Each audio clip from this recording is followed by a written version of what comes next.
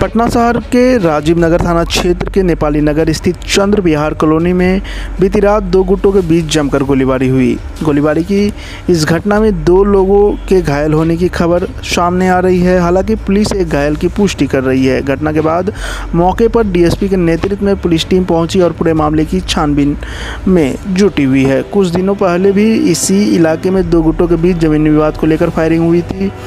जिसमें अपराधियों की बाइक पुलिस ने मौके से बरामद की थी। लेकिन उसके बाद पुलिस भी शांत पड़ गई। आज एक बार फिर से यह इलाका गोलियों से थर्रा उठा। फ़िलहाल राजीव नगर में ज़मीन पर कब्जा करने को लेकर ज़मीन माफिया बार बार आपस में टकरा रहे हैं। उधर गोलीबारी की घटनाओं से लोग आतंकित है। पिछले दिनों भी पीछे में गोली चला। हम लोग नहीं थे तब बच्चा लोग घर में था तो चला होगा। अच्छा आप लोगों को डर लगता है?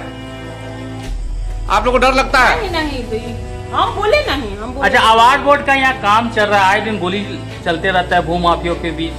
आप लोग डर के साथ नहीं रहते। हाँ? तो प्रशासन देखेगा हम लोग थोड़े गोली चला काम है ना देखना।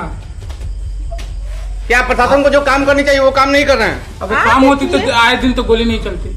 आज दिन गोली चल रही है? आज दिन तो गोली चली रही है। डर लगता होगा आप लोगों को? डर तो लगेगा ही ना। डर तो हर किसी को आप ही के सामने गोली चलेगा तो क्या आपको डर नहीं लगेगा? जिस समय घटना हुआ था उस समय आप घर में ही थे। नहीं हम ऑफ़िस से आए ही थे जस्ट आए थे। उसके बाद हम लोग साढ़े आठ बजे नौ बजे अपना गेट बंद करते हैं। तो वही गेट बंद करने आए तो देखिए एक व्यक्ति यहाँ पे पड़ा हुआ था। उसके साथ भी एक व्यक्ति था। फिर हम लोग यहाँ से हटाए कि आप लोग जाइए अपने यहाँ। यहाँ क्यों पहले भी गोलीबारी चल चुकी है इधर। नहीं तो हमेशा इधर तो बहुत अच्छा पुलिस कितना देर बाद पहुँची है? पुलिस घंटे आधे घंटे के बाद। गोली चली है? हाँ गोली चली है। ये जानकारी मिली है। क्या जानकारी मिला है?